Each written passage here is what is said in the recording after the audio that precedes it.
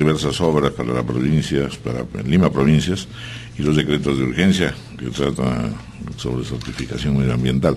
Bienvenido, señor, gracias por estar con nosotros. Don Raúl, muy buenos días. Patricia, Ricardo, un gusto saludarlos. ¿Qué tal? Buenos días. antes de conversar sobre eh, su evaluación del, encuentro con los ministros y eh, estos planteamientos interesantes del conjunto de los presidentes regionales con respecto a los decretos de urgencia, quiero preguntarle un poco cómo recibe usted Lima Provincias y, que de alguna manera ha habido una alternancia, ¿no es cierto? Se ha pasado del norte al sur de Lima provincias, eh, en lo que se refiere pues de, Huacho a, a Lunaguaná. Y que es eh, la dificultad, entiendo, todavía persistente, ¿no es cierto? Cómo trabajar con Lima provincias siendo tan extensa y finalmente separada por Lima metropolitana, digamos, por Lima central.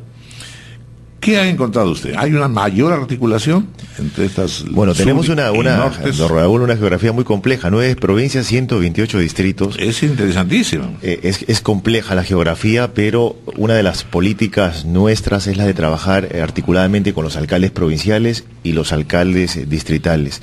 Hemos encontrado un gobierno con ciertas deficiencias como muchos gobiernos regionales, pero hay que mirar al futuro, hay que mirar qué cosas buenas se pueden trabajar. Y prueba de ello, por ejemplo, es que en menos de seis semanas, en un trabajo coordinado con los alcaldes provinciales y distritales, hemos instalado las escuelas deportivas de fútbol y de vóley. Desde este sábado, en los 128 distritos, los niños tienen un profesor de fútbol y de vóley financiado por el gobierno regional. Quienes nos ayudaron a escribir a los niños fueron los, alcaldes distritales y los provinciales. Tenemos 14.000 niños que durante los cuatro años de nuestro gobierno regional van a poder practicar el deporte de fútbol y vole. Y esperemos en, los próximos meses instalar las escuelas de teatro, de música, de pintura y de otras disciplinas deportivas. Y esto demuestra que mediante una coordinación permanente se puede gobernar la región. ¿Qué me interesa? Descentralizar el gobierno regional me interesa tener funcionarios en cada una de las provincias, que los problemas que tenga cada ciudadano, ya sea en Yauyos, en Cante, en Ollón, en Guarochirí, se puedan solucionar en sus propias provincias. Claro, es muy interesante lo que usted dice, pero sin embargo las necesidades también fortísimas son sobre todo infraestructura, ¿no es cierto? Yo he estado preguntando al anterior presidente, y lo haré con usted también, permanentemente, voy a las carreteras, la carretera Cante, también. Tenemos que, por eso le, le pregunto, proyectos de articulación de Lima Provincias. Bueno, ahora estamos trabajando eh, con el gobierno nacional.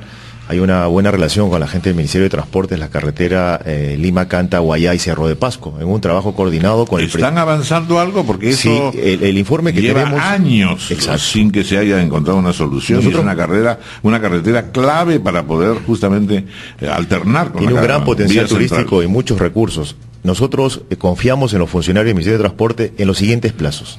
Ellos nos han mencionado que el 15 de marzo entregan el expediente técnico terminado de esta carretera, será aprobado en los próximos 15 días, quiere decir que a fines de marzo por el Ministerio de Transportes y Comunicaciones, y la primera semana de abril o durante la segunda o tercera semana, en el peor de los casos, se debe ya entregar la licitación. Creemos en ello, ¿por qué?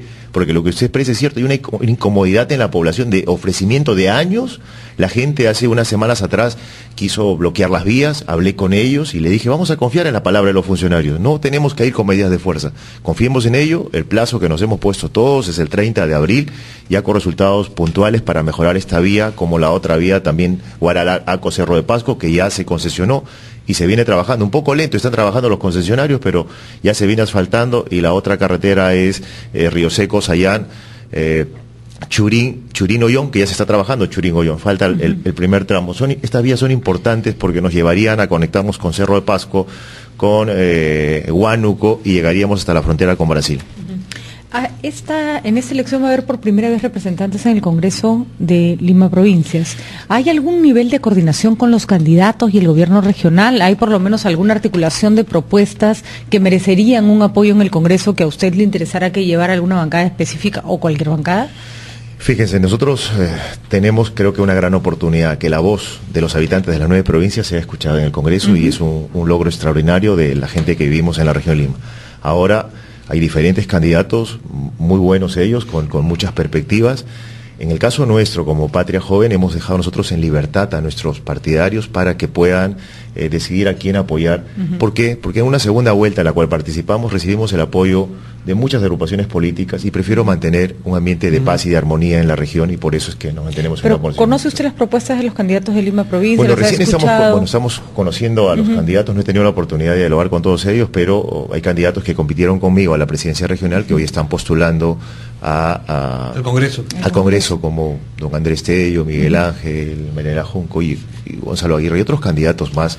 Hay candidatos de talentos que esperemos que, la voz de la gente que está en la, en la región sea escuchada en los próximos, a partir de julio hacia adelante, cuando asumen el cargo. Eso esperamos. Y respecto a este proyecto de la construcción de un penal eh, piloto en, Guaral, eh, que justamente estaba dentro de estos decretos legislativos 001 y 002 que le buscaba dar facilidades a los El tema es bastante serio. El día lunes nos reunimos con los ministros de Estado, estuvo la ministra de Justicia y en uno de los puntos de este decreto, en el punto 3, la, construcción, la concesión de un penal en la región Lima.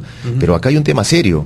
Hay tres penales en la región, los tres penales están con una sobrepoblación por ejemplo, en el Cañete fue construido el que está en cantera, conocido como el hombre de cantera, tiene capacidad para 700 reos y está superando los 1000 internos. Y pasa lo mismo en otras provincias, como en Aucayama, en Guaral y como en Carquira, en Huacho. La gente hoy no quiere la construcción de más penales porque hay un problema serio ah, del índice de asaltos y de robos. Entonces, yo le planteé a la ministra que se considere ello porque va a traer un problema social. La gente en Guaral no va a permitir la construcción o la ampliación de otro penal. Por lo tanto, que tienen que reconsiderar ello porque, les digo, va a traer un problema serio. Ya la experiencia que tenemos con tener tres penales no es nada bueno para la región Lima y le pido a la ministra que eh, pueda tomar cartas en el asunto para no tener problemas mayores con la población. ¿Pero estuvo usted en el Consejo de Ministros allá? Ayer estuvimos. ¿Y se tocó este tema? ¿Qué, Ayer tocamos, eh, yo agradezco al presidente de la República por permitirnos dialogar en el Consejo de Ministros unos temas que preocupan.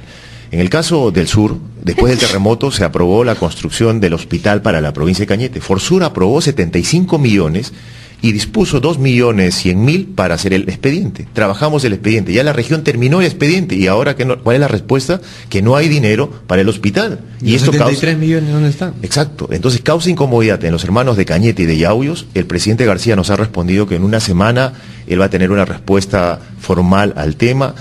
Y, por ello nos alegra, porque no podemos estar eh, causando o llevando una expectativa como se dio hace dos años atrás, que se construía el hospital para la provincia de Cañete y los hermanos de Yauyos, y hoy nos responden que no hay dinero, es una gran preocupación y causa mucha incomodidad. Ese fue uno de los temas que tocamos con el presidente, y el otro tema es, se logró en el sur también la, la ley que crea la Universidad de la provincia de Cañete, pero ya tenemos 800 niños, 800 jóvenes en la pre, pero falta el documento que pueda entregar el, ministerio, el ministro de Educación, el Ministerio de Educación, para, el, eh, para convocar el examen de admisión. El ministro nos va a recibir hoy a las 11 y 30 de la mañana y esperemos que pueda haber humo blanco el día Todavía en la universidad ya están en la pre.